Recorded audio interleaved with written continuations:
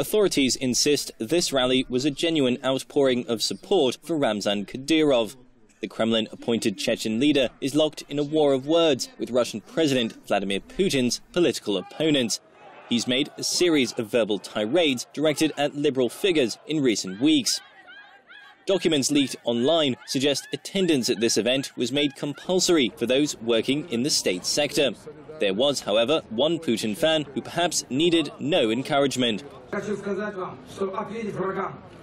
I want to say that the only response we can give to our enemies is our solidarity, solidarity with the President of Russia and our unity. I would like to say that we will still have to fight for freedom, for freedom from American democracy. Human rights activists and liberal politicians condemn Kadyrov. His verbal scuffles with Putin's rivals come ahead of the first anniversary of the murder of opposition leader Boris Nemtsov. A group of Chechen men are charged with the assassination. Kadyrov denies involvement.